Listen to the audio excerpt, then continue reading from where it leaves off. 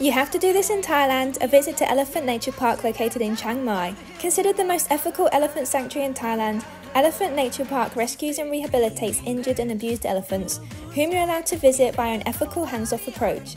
There's also a really cool skywalk platform and the sanctuary also cares for water buffaloes, dogs and many many cats.